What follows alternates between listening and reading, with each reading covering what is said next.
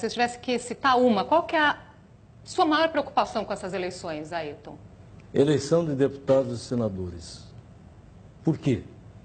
Porque não há presidente que consiga aprovar um projeto de interesse popular com um Congresso onde o voto precisa ser comprado.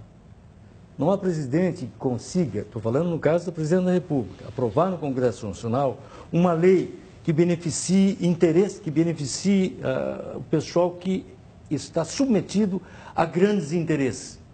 Não se mexe com a legislação bancária, não se mexe com a legislação do imposto de renda. A, alíquota do imposto de renda não é modificada há mais de 20 anos. Tem lá 27,5, eu pago, vocês devem pagar. Mas quem ganha 200, 300 mil uh, por mês paga a mesma alíquota. Não há uma, um peso para isso. Não se taxam as grandes fortunas, não se taxam os bancos como devia, não se taxam. Enfim.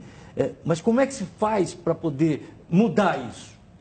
Tem que ter parlamentar que vote e que vote contrariando esses interesses. Acontece que são esses interesses que acabam elegendo uma maioria parlamentar.